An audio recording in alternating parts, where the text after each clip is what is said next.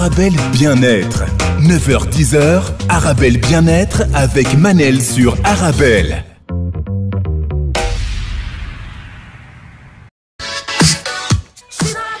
Et on se retrouve pour notre rendez-vous quotidien 100% Good Vibes en direct d'Arabelle. Sujet du jour, la greffe de cheveux. Et oui, par moments ça arrive, on perd nos cheveux, pas que les hommes, mais les femmes aussi, sans toucher, et ça peut devenir embarrassant. Certaines personnes acceptent plus facilement la situation que d'autres. Ça peut même provoquer par moments des problèmes psychologiques. Alors on essaye de camoufler avec les poudres. Il y a pas mal de solutions sur le marché, mais il y a aussi une solution plus radicale qui est la greffe de cheveux. Personnellement, et ça ce n'est que mon avis, changer les choses qu'on peut changer et qu'on a les moyens de changer, changer, je dis pourquoi pas. Certaines stars aussi ont eu recours à la greffe de cheveux. Je cite Florent Pagny, Marc-Olivier Fogel, Jean-Michel Maire et Julien Lepers. La liste est longue. Et donc, pour répondre à mes questions concernant la greffe de cheveux, je reçois en direct de Turquie Monsieur Eyüp Güvenç, conseiller médical spécialisé dans la greffe de cheveux. Monsieur Eyüp, est-ce que vous m'entendez? Bonjour Manel, je vous entends très très bien. Ça va, vous allez bien? Très bien, merci. Et vous-même? Merci, très bien. Vous êtes en direct de Turquie, vous êtes de quelle ville? Je suis à Istanbul. Et comment ça se passe? Très très bien. Vraiment, euh, tout se passe très bien. Alors dites-moi, vous parlez français couramment et turc. Comment ça se fait déjà? Alors, je suis franco-turc. Ah. Euh, J'ai grandi à- en France, à Lyon, plus précisément. Et ça fait maintenant un peu plus de 4 ans que je suis installé à Istanbul. parfait. Et ça vous plaît? Très. C'est un très beau pays, Grande la ville. Turquie. Moi, je suis tombée amoureuse de Turquie et à chaque fois, j'y reviens. Super. Alors, monsieur Eyüp, vous permettez que je vous appelle avec votre, votre prénom en- au lieu du, du nom Je de vous en prie, bien sûr, madame. Merci Je beaucoup. Alors aujourd'hui, on va parler euh, de la greffe de cheveux et on aura par la suite, euh, vers la fin de l'émission, le témoignage d'Anthony qui va nous parler de son expérience greffe de cheveux. C'est une, c'est une opération euh, qu'on peut aussi subir ici en Belgique. On, par- on va parler au Bien début, sûr. oui, voilà, géné- généralement de la greffe de cheveux et peut-être par la suite, on va détailler les démarches à suivre Bien sûr. pour suivre cette interven- intervention en Turquie.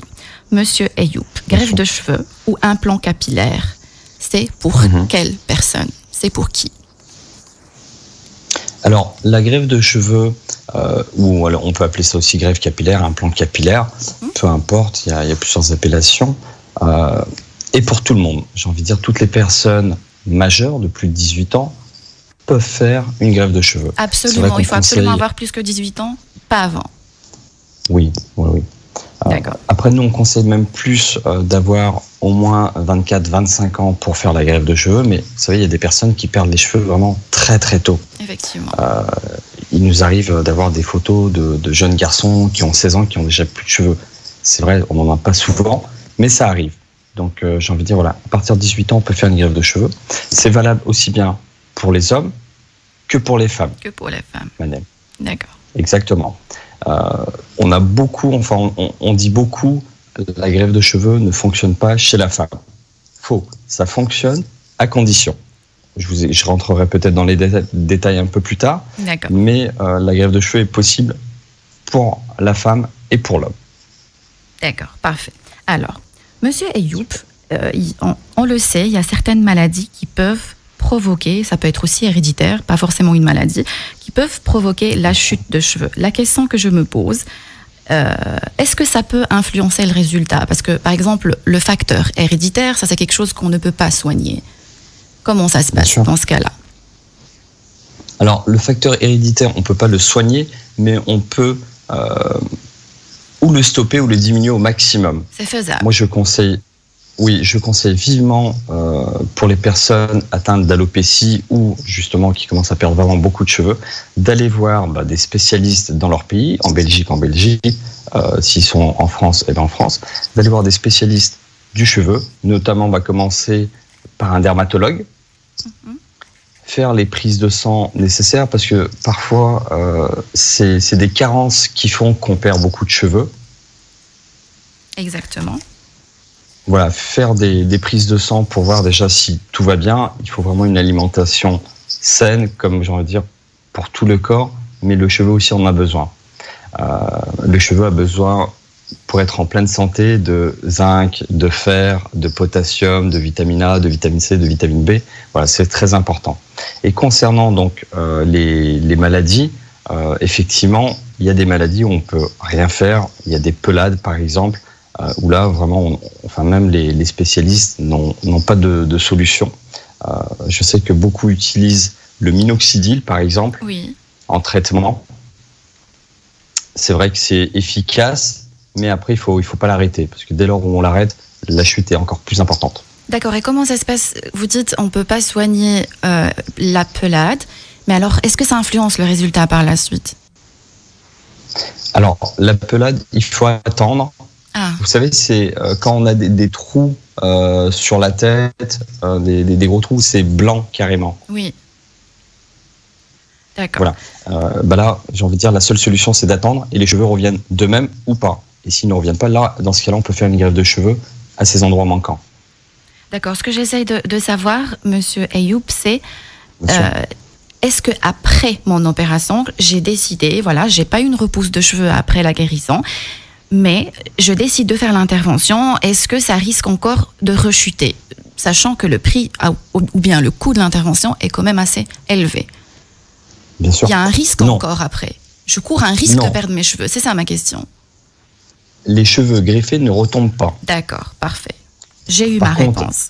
D'accord, super. Merci, monsieur. Alors, je rappelle, c'est très important ce que vous avez dit parce qu'il y a des gens qui ont tendance à aller vite chercher les solutions sans savoir quels problèmes ils ont exactement. Et vous avez bien raison, raison de signaler qu'il y a plusieurs facteurs qui peuvent provoquer la chute de cheveux. Je cite la ménopause, les carences en vitamines, comme vous avez dit, la dépression nerveuse aussi, les- la prise de certains médicaments et les mal- la maladie de la, toutes les maladies de la thyroïde, on va dire. On va dire. Effectivement. Monsieur Ayoub, il y a plusieurs méthodes euh, et à chacune ses avantages et ses, inconvénients. Je parle euh, des méthodes utilisées pour la greffe de cheveux. On ne va pas rentrer dans les détails. C'est le chirurgien Mhm. qui décide au cas par cas. Mais dites-nous, s'il vous plaît, brièvement les méthodes qui existent. Les méthodes qui existent aujourd'hui, euh, on les compte au nombre de trois. La FUT. FUT, c'est la technique appelée de la bandelette. D'accord. On coupe une bandelette à l'arrière de la tête. On récupère donc sur cette bandelette les greffons, les cheveux, et on les transplante au-dessus de la tête. C'est une technique qui se pratique encore en Europe, mais plus du tout en Turquie. Il faut avoir les cheveux à l'arrière de la tête. Et si on n'en a pas, On peut pas faire de greffe de cheveux. pas possible. Non. Je pense euh, personnes qui suivent des traitements de chimiothérapie ou qui perdent définitivement leurs cheveux. Alors les personnes qui suivent un traitement de chimiothérapie Ils déjà ne peuvent pas faire de greffe de cheveux. Ah, Ok, d'accord. Oui, mais, mais même post-chimio, pendant au moins un an, on peut pas faire de greffe de cheveux. Pendant un an. D'accord, ça c'était Mm. la première technique. Et la deuxième? C'est ça. La deuxième technique, c'est la FUE. FUE. Donc, c'est ça. La, la technique consiste à prélever les racines de cheveux, dit les greffons, un par un, à l'arrière de la tête, et les transplanter au-dessus de la tête, aux endroits manquants. Euh, et on ouvre les canaux pour transplanter justement ces greffons avec une lame en saphir. D'accord. Voilà. Ça c'est la deuxième Cette technique. technique, c'est ça. Les avantages de cette technique, eh ben, c'est que vous n'avez pas de cicatrice à l'arrière de la tête, ni nulle part d'ailleurs, pas de cicatrice. Et on peut orienter vraiment euh, le cheveu dans le sens le plus naturel, comme il se doit, car la lame en saphir le permet. Et on peut mettre un maximum de densité. Donc la première technique, il y a bien une, une cicatrice, mais est-ce qu'elle est visible? Est-ce qu'elle est énorme? Est-ce qu'elle est supportable? Oui. Elle est, elle est visible et elle est très grande. C'est pour Ah. ça qu'en Turquie, cette euh, technique ne se pratique plus. D'accord. Uniquement pour cette avez- raison-là, pour la, pour, la, pour la cicatrice Effectivement. Vous avez déjà dû voir des personnes avec un, un- une, enfin, une cicatrice Oui. horizontale à l'arrière de la tête. Et ben c'est ça. Eux, ils ont fait une, une greffe de cheveux effutée. D'accord. Merci, monsieur Ayoub. Alors, Je décide de faire l'intervention. Pardon, il y avait une troisième technique, Manel? La troisième technique, je suis désolée, je vous écoute. je vous en prie, je vous en prie. Euh, la troisième technique, c'est la DHI. Donc, euh, le mode de prélèvement est identique à la FUE. On prélève à l'arrière de la tête les racines une par une, pas de cicatrice. Et pour faire la transplantation, au lieu d'ouvrir les pores avec une lame en saphir et transplanter, on insère les griffons dans, un pen choy, comme dans un stylo, comme dans un critérium, et on transplante directement avec. C'est la méthode la plus utilisée couramment pour les femmes, car ça permet de garder tous ses cheveux. On n'a pas besoin de raser toute la tête ah. pour faire une greffe de cheveux DHI. C'est microscopique, ce travail. Effectivement. Et ça prend beaucoup plus de temps, j'imagine. Oui, oui, oui. Il y a beaucoup plus d'intervenants lors de la greffe de cheveux DHI que FUE. Effectivement, vous avez raison. Et ça prend quoi une, journée? En moyenne, l'opération dure entre 7 et 8 heures. Carrément. On va peut-être revenir à, tous ces détails, euh, le temps que ça prend et la préopération. On va se retrouver juste après la pause. Et on se retrouve pour notre rendez-vous quotidien sur Abel 9-10 heures, notre rendez-vous 100% good vibes. On parlait de la greffe de cheveux. Je reçois en direct de Turquie monsieur Eyüp Givench, conseiller médical spécialisé dans la greffe de cheveux. Je vous rappelle que vous pouvez aussi nous regarder en direct via le site arabelle.fm. Vous pouvez aussi nous envoyer vos réactions par SMS au 0488 106 800. D'ailleurs, j'ai reçu un SMS. Très bon sujet aujourd'hui. J'ai hésité à aller euh, en Turquie faire une greffe de cheveux et les réponses de monsieur Guven. Je me sens prêt à y aller. Attendez de voir la suite. Attendez de voir la suite. On va parler des détails de l'opération et comment se, déroule euh, ce voyage vers la Turquie. Peut-être vous allez la faire en Belgique, c'est en jamais. Donc, monsieur Eyou, vous êtes toujours là Je suis là. D'accord. Euh, vous avez cité la troisième technique qui était DHI. Vous avez dit que c'était microscopique et que c'était un travail qui prend de 7 à 8 heures. Donc, c'est un travail, on va dire, euh, assez pénible. on peut utiliser ce mot on peut utiliser ce mot, effectivement, c'est vraiment un travail de longue haleine, parce qu'on démarre l'opération, j'ai envie de dire, à peu près à 9h du matin, et elle va se terminer bah, à 17h, 18h, des fois ça prend plus de temps, 19h. Donc euh, oui, pour les personnes euh, qui font l'opération, c'est microscopique, c'est répétitif, mais il faut, il faut le temps de bien faire les choses. D'accord. Euh, c'était la, la, dernière technique, et on a trois uniquement, monsieur? C'est ça. Trois tout à fait. techniques, parfait. Alors, je décide de faire l'intervention. Quelles précautions, précautions je dois prendre? Quelques mois ou quelques semaines avant euh, Expliquez-moi le avant opération. Alors, le avant opération, bah, dans un premier temps, la personne euh, qui souhaite faire sa grève de cheveux doit vraiment tout dire à son conseiller. Son passé médical, si elle a des traitements en cours, elle doit dire les traitements qu'elle prend. Et par rapport à ça, déjà, la personne va lui dire, le conseiller va lui dire, oui, on peut faire la grève de cheveux. Non, pour le moment, on ne peut pas faire la grève de cheveux. C'est important. Ensuite, euh, une fois que, j'ai envie de dire, le passé médical est balayé. Tracé. Voilà. Euh, il nous faut les photos de la personne. Pour nous, ici en Turquie, à distance, on a besoin de voir l'état actuel de la calvitie ou du problème de cheveux de la personne. J'avoue, monsieur, excusez-moi de vous interrompre, j'avoue que euh, moi aussi j'ai fait une démarche une fois pour faire un diagnostic, pas pour les cheveux, pour autre chose en Turquie. Et je, je me suis posé des questions sur ces consultations qui se déroulent uniquement par mail. Alors, j'avoue, ils étaient très professionnels. Ils ont même refusé mhm. l'intervention parce qu'ils m'ont dit, vous en avez pas besoin. Et je trouve ça super honnête qu'un chirurgien refuse une intervention. Ça prouve une ça prouve qu'il est, voilà, très honnête. Mais ces consultations Exactement. en ligne, par mail, par photo, est-ce que c'est vraiment efficace? Alors, bien sûr, euh, nous, on donne, j'ai envie de dire, notre avis qui va correspondre à la réalité à 95%. Il y a une petite marge d'erreur possible. Et on fait une consultation sur place ici à Istanbul, juste avant l'opération. Ah, d'accord. Tout ce qui est électrocardiogramme, prise de sang, on les envoie pas par email, ça se passe sur place. En C'est ça, tout à fait. Et donc, je peux prendre l'avion. Donc, je, peux prendre l'avion et arriver et on découvre un petit souci de santé et l'opération est annulée. Ça peut arriver. Ça peut arriver, bien sûr. Ah, Bien sûr, ça peut arriver. Donc, ça, C'est c'était. pour ça qu'on essaie de poser un maximum de questions aux patients Ah. pour euh, limiter euh, son déplacement inutile, on va dire. Parfait. Le pendant opération, monsieur Ayoub. Euh, vous avez parlé de cette euh, technique DHI qui était pénible. Alors moi, j'ai lu un témoignage sur un forum d'une personne qui avait dit que la position, même la position pendant l'op- l'opération, était inconfortable. Alors j'imagine que... Non, Oui. Je, je vous écoute. terminé. Je vous écoute. Alors, je disais, vous avez raison, la, la position est inconfortable au début de l'opération parce que euh, la personne euh, faisant l'opération de greffe de cheveux est d'abord sur le ventre pendant Ah. deux à trois heures sur le ventre pour qu'on puisse prélever justement à l'arrière de la tête les griffons, les racines de cheveux D'accord. Parfait. Ça, c'est ensuite- anesthésie générale ou locale? Locale. anesthésie On est locale. conscient. Tout à fait. D'accord. Vous avez autre, autre chose à rajouter par rapport à... Alors, une- Oui, Une fois que justement la phase de prélèvement est terminée, la personne est sur le dos environ pendant 4 heures.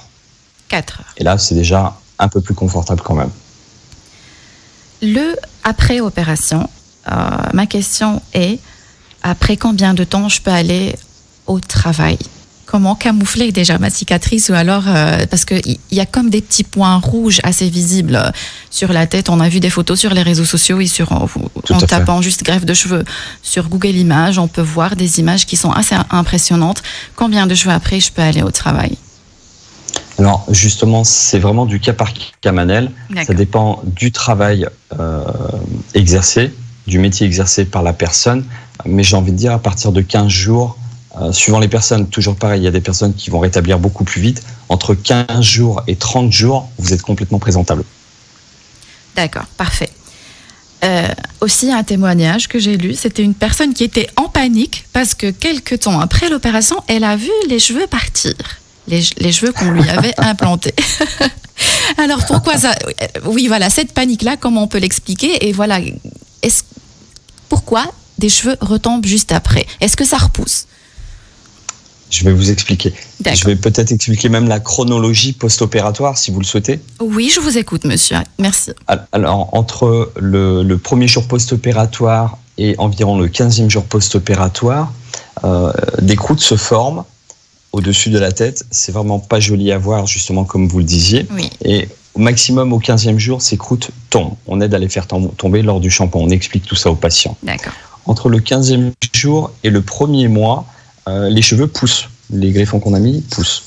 Par contre, entre le premier mois et le centième jour, donc environ jusqu'au troisième mois et demi, euh, là, les cheveux qu'on a, les, les greffons qu'on a mis, euh, la, la bulbe, la racine est bien dans le cuir chevelu, mais les cheveux tombent.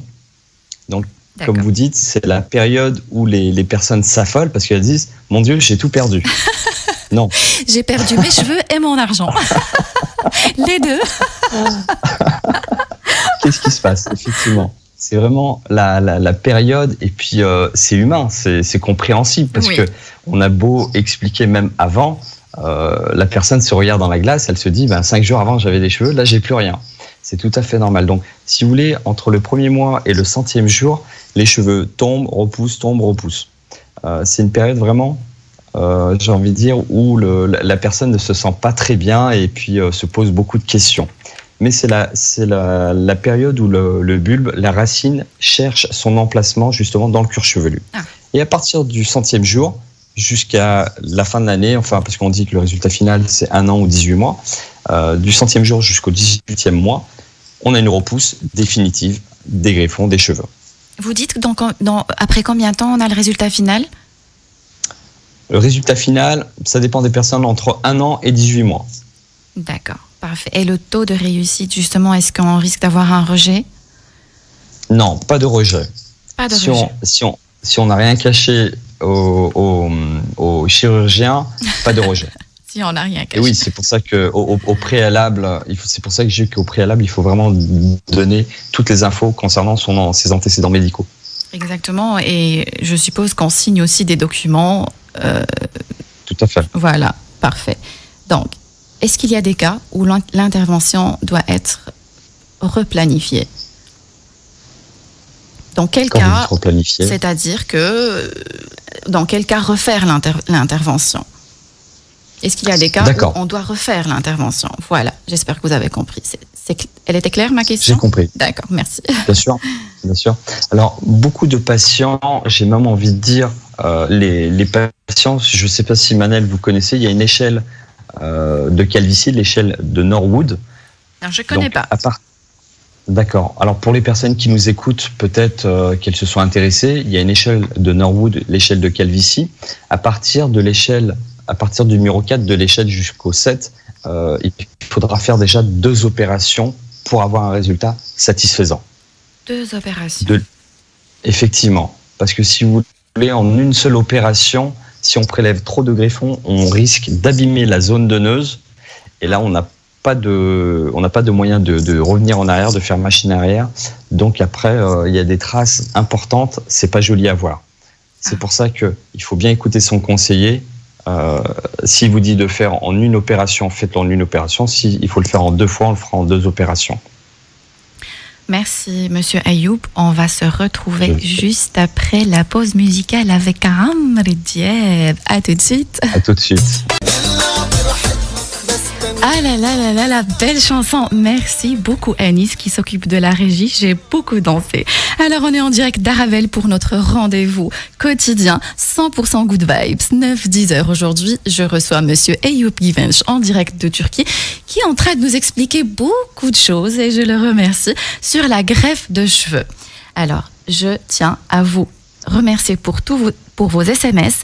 Vous pouvez nous regarder en direct sur arabelle.fm et envoyer vos SMS au 0488 106 800. Monsieur Ayoub, vous m'entendez toujours? Romanel. Bonjour. Alors, on va accueillir tout à l'heure par téléphone Anthony, euh, qui va nous expliquer de France son expérience avec la greffe de cheveux. Mais avant ça, j'aimerais bien euh, connaître les étapes suivre une par une pour faire ma greffe de cheveux en Turquie, puisque vous êtes en Turquie. Bien sûr. Alors, euh, bah, première chose, euh, on, a, j'ai envie de dire, le premier contact euh, par téléphone ou par mail avec la personne. Comme je disais, donc, on pose plein de questions concernant son état de santé actuel, si c'est possible, pour voir déjà si c'est possible de faire une greffe de cheveux ou pas.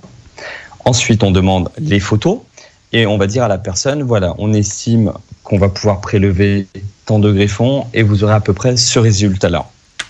On se met d'accord sur ça. On lui dit ce que ça coûte. On va lui dire aussi bien sûr quelle technique sera utilisée, est-ce que ça sera la FUE ou la DHI. En Turquie, on n'utilise plus du tout la, FUT, la première technique de la bandelette. Ça ne se fait plus ici en Turquie. Et ensuite, donc la personne euh, regarde bah, son planning et puis aussi euh, par rapport à son travail, poser des jours de congé. Et c'est aussi très important post-opératoire. Bah, il y a le fait d'être présentable 15 jours après, mais il y a aussi euh, des, des, conditions à respecter après la grève de cheveux. Si vous voulez, pendant 15 jours, il ne faut pas faire, post-opératoire, il ne faut pas faire d'activité sportive. Ah. Il ne faut pas soulever de charges lourdes.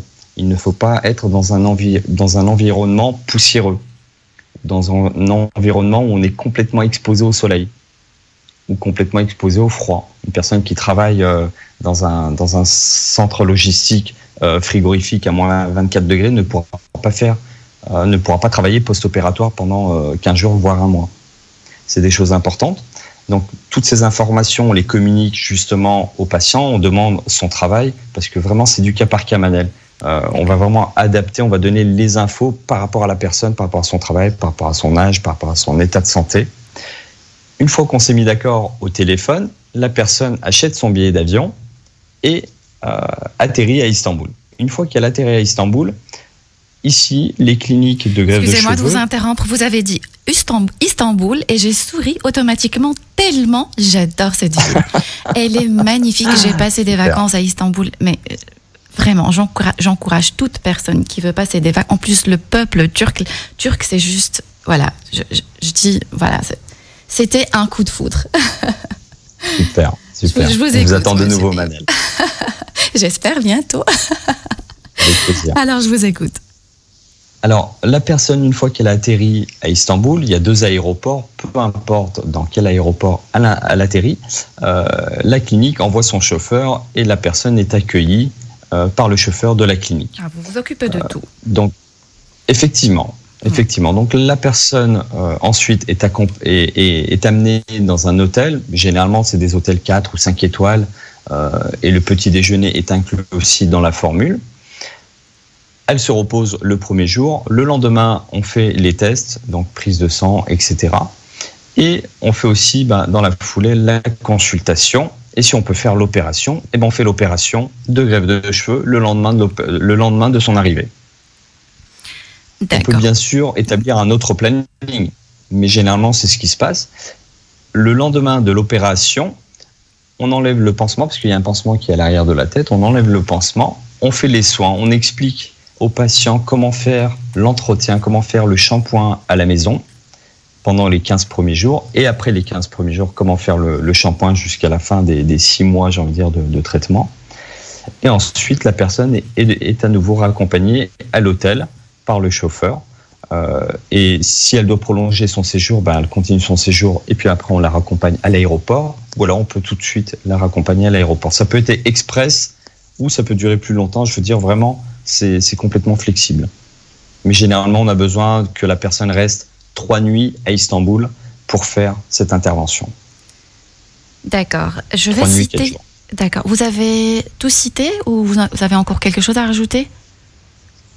C'est à peu près ça. hein. D'accord. Je, je vais citer quelques précautions euh, à ne pas faire juste après. Donc, comme vous avez dit, il faut éviter les, les gestes brusques. Ça, c'est de 1. D'accord. Le sport, Exactement. à partir du septième jour, c'est ça? 15e. 15e. Le quinzième, carrément. Euh, le ça. coiffeur, bien évidemment. ça, c'est combien de temps après je peux aller chez le coiffeur?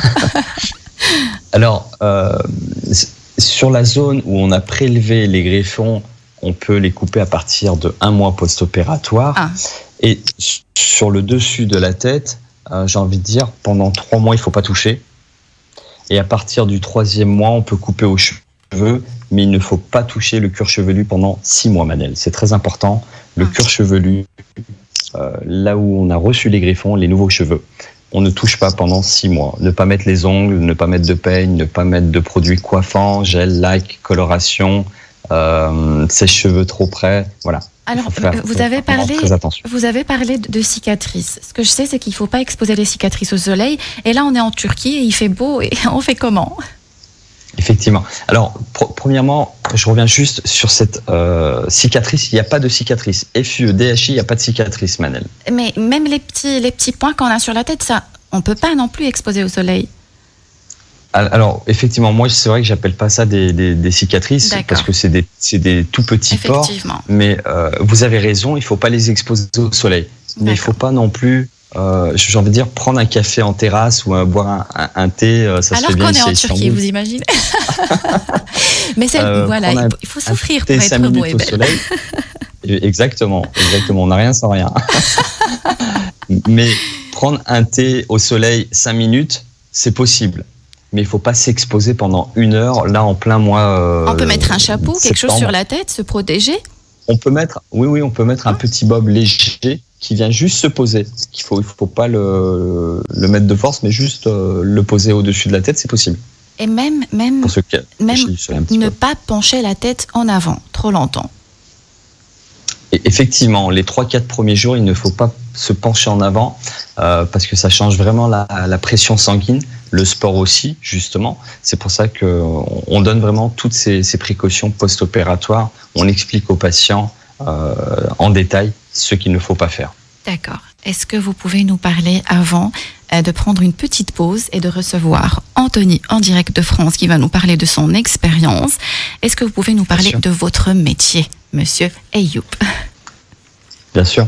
Alors, euh, c'est vrai qu'il y en a qui, qui pensent que je suis docteur, d'autres qui pensent que je suis Conseiller médical. Euh, mon- Mais vous maîtrisez Voilà, bien le sujet, métier. j'avoue. Effectivement. Euh, mon métier, c'est conseiller médical, c'est de conseiller les personnes dans leur choix de greffe de cheveux et puis aussi dans leurs problèmes capillaires. Je suis pas un expert capillaire, mais avec l'habitude et puis avec tout ce que je bouquine aussi, j'arrive aujourd'hui à dire il faudrait faire ça, il faudrait faire cela avant la, la grève de cheveux. D'accord. Parfait. On va aller euh, on pause quelques petites minutes et on revient juste après pour recevoir Anthony en direct. À tout de suite. Et on se retrouve en direct d'Arabelle, notre rendez-vous quotidien 100% good vibes, 9 10 heures. On parle aujourd'hui de la grève de cheveux et pour ça, je reçois en direct monsieur Ayoub Givench qui a répondu à beaucoup de questions. Je vous rappelle que vous pouvez aussi nous regarder en direct du site arabelle.fm et nous envoyer vos SMS au 0488 106 800 0486 106 800. J'ai reçu un SMS, mais en langue arabe, que je vais lire en arabe, mais que je vais traduire juste après pour les francophones. شكرا أرابيل نحن دائما في الاستماع ولا ننس ولا ننسى شكر الخبراء والمدعوين دائما نستفيد donc la personne elle dit merci Arabelle merci euh, aux invités et aux experts nous j'apprends toujours quand j'écoute Arabelle ça nous fait énormément plaisir monsieur Ayoub vous êtes toujours là alors dites-moi j'aurais une, une autre question avant de recevoir Anthony en direct je reviens chez moi, j'ai subi une intervention en Turquie et j'ai des complications. Comment ça se passe? Alors, euh, généralement, j'ai envie de dire à 95%, 99%, on n'a pas de complications post-opératoires si les conditions sont bien respectées. Cela dit, ça peut arriver. Les seuls euh, petits soucis qu'on peut avoir, c'est des infections. Ah. Et là, dans ce cas-là, on, on demande aux personnes d'aller voir un dermatologue et de prendre un petit traitement antibiotique sur une semaine ou deux semaines. Ça peut être une crème antibiotique ou ça peut être par voie orale. Et les prescriptions, comment ça se passe? Les prescriptions, c'est-à-dire C'est-à-dire que si j'ai besoin d'un antibiotique, il faut que mon généraliste ici me le prescrive tout à fait, voilà. Ah. C'est pour ça que je disais moi un dermatologue, mais ça peut être euh, votre médecin généraliste. Effectivement. Et comment vous retrouvez Monsieur Ayoub? Sur Instagram?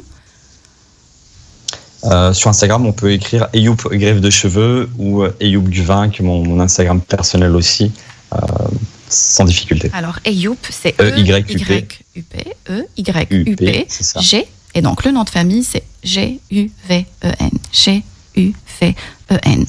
Donc on reçoit tout de suite notre témoignage, Monsieur Anthony, en direct de France. Monsieur Anthony, est-ce que vous m'écoutez? Oui, je vous entends. Bonjour Manel. Bonjour Ayoub. Vous êtes de quelle ville? Bonjour Anthony. Je suis de Lyon. Vous êtes de Lyon. Alors, vous avez subi euh, une intervention qui est la greffe de cheveux. C'est bien ça C'est ça, au mois de novembre dernier, donc ça fait à peu près 10 mois. Ça fait subi l'opération. 10 mois. Alors, c'était quoi déjà la cause de votre perte de cheveux? Bah, Moi, c'est plus un côté héréditaire. Ah. Donc, euh, c'est vrai que dans ma famille, euh, les hommes ont perdu beaucoup, beaucoup de cheveux. Donc, j'ai commencé à les perdre à partir de, de 24 ans et ça s'est vraiment accéléré, on va dire, euh, à la trentaine. Euh, donc voilà, après, je sais que le stress aussi euh, de la vie quotidienne est pour beaucoup sur la paire de cheveux, mais moi, c'est vraiment le côté héréditaire qui, a, qui, qui, a fait ça, en fait. Elle vous a provoqué des problèmes psychologiques, cette perte de cheveux? Ou c'était uniquement pour le côté esthétique? C'était vraiment pour le côté esthétique et le fait de remettre un petit peu de, gel, ça fait toujours plaisir au moins. c'est toujours, bien.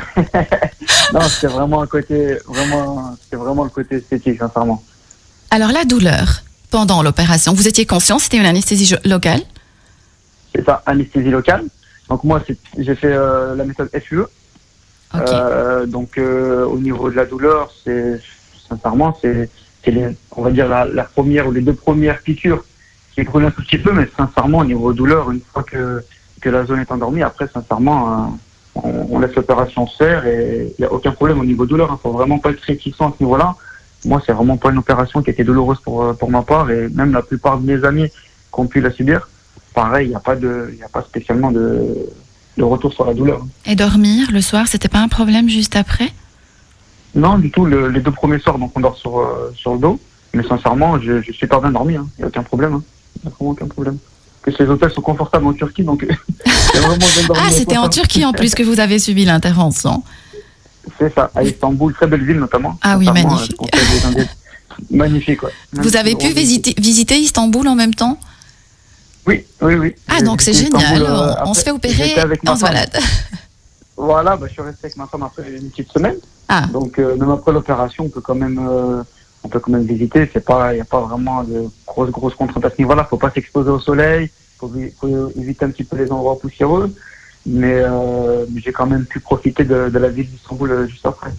Alors, on, parlait avec Monsieur Ayoub de cette période juste euh, après l'opération où on perd un peu la densité de nos cheveux et on se dit grosse panique. Est-ce que l'opération est ratée? Est-ce que vous avez eu, vous avez vécu ça, vécu ça aussi? Bah, pour ma part, non, parce que toutes les questions, Ayoub m'avait déjà prévenu, donc euh, Ayoub m'a dit que ça va se passer ah. comme ça. Donc, euh, dans un premier temps, il va avoir une perte de cheveux, donc ce qu'on appelle les cheveux de bébé qui vont repousser, donc après on va les perdre. Donc je le savais, hein, je le savais, je le savais. Donc j'étais mis en confiance là-dessus. Donc après, après non, moi j'étais euh, à ce niveau-là, j'ai pas eu de pas eu de problème. Et m'avait bien prévenu de, de, ce qui allait se passer. Euh, donc voilà, voilà à ce niveau-là, non, sincèrement, aucun problème pour moi pas. Alors là, actuellement, vous êtes à votre résultat final, c'est ça? Pas totalement. C'est à partir d'un an le résultat final. Donc là, ça fait 10 mois. Euh, et sincèrement, euh, j'ai vraiment récupéré une grosse densité. Ah. Et euh, bah maintenant, je peux, je peux refaire des coupes de cheveux. Je peux ah, carrément. Euh. Ah vous avez laissé pousser vos cheveux plus longs ou vous avez gardé la même coupe qu'avant Non, ils sont vraiment longs. Ils bouclent. Maintenant, ils bouclent tout. Je peux faire des belles coupes. Vous vous êtes lâché, hein de perte de cheveux jusqu'à les cheveux longs. Vous me donnez même envie de me faire une greffe de cheveux alors que j'ai des cheveux. non, mais sincèrement, je vous assure, c'est vrai. Hein, ma femme est coiffeuse. Ah. Euh, j'imagine, excusez-moi de vous couper, j'imagine la frustration. Votre femme, elle est coiffeuse et vous perdez les cheveux, alors que vous pouvez vous faire coiffer gratuitement. bah, maintenant, maintenant, grâce à ça, vous me recoiffer. Et elle est même retombée amoureuse de moi.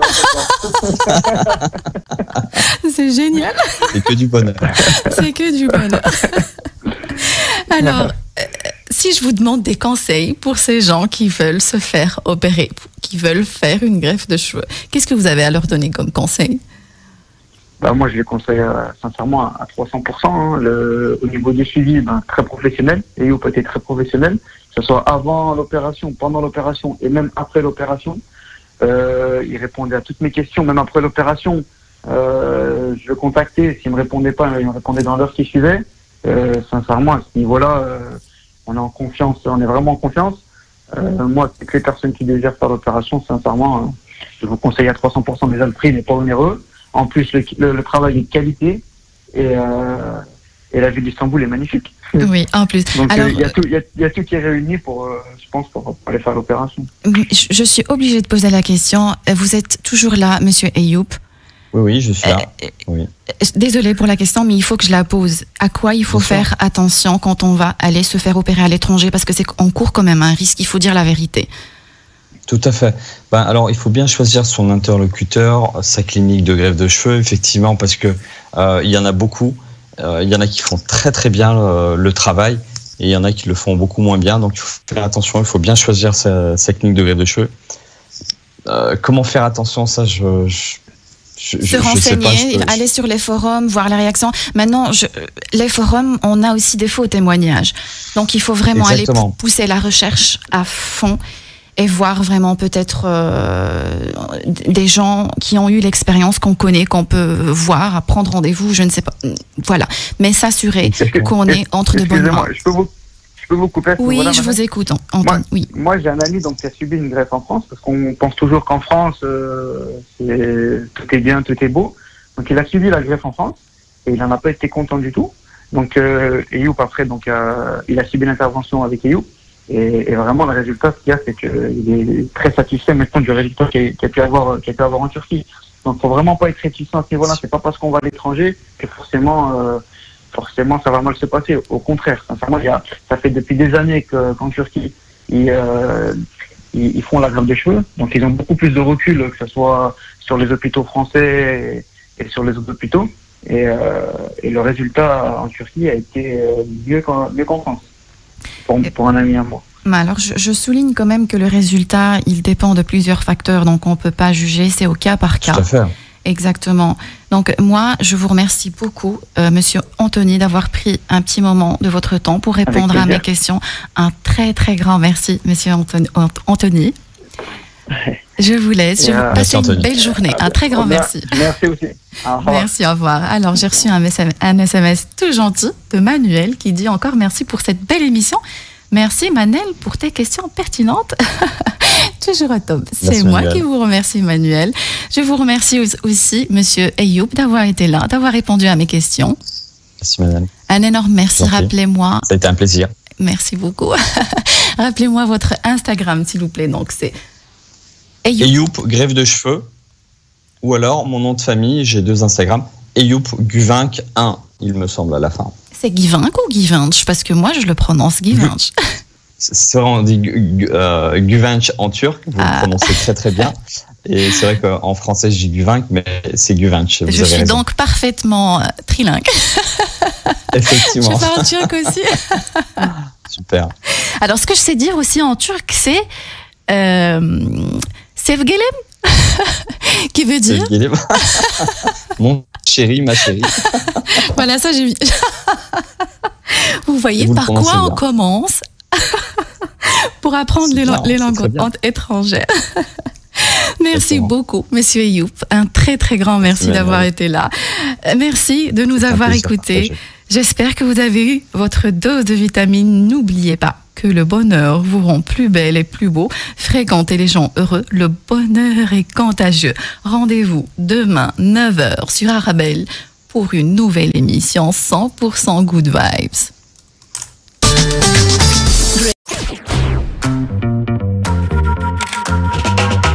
Arabelle Bien-être. 9h-10h, Arabelle Bien-être avec Manel sur Arabelle.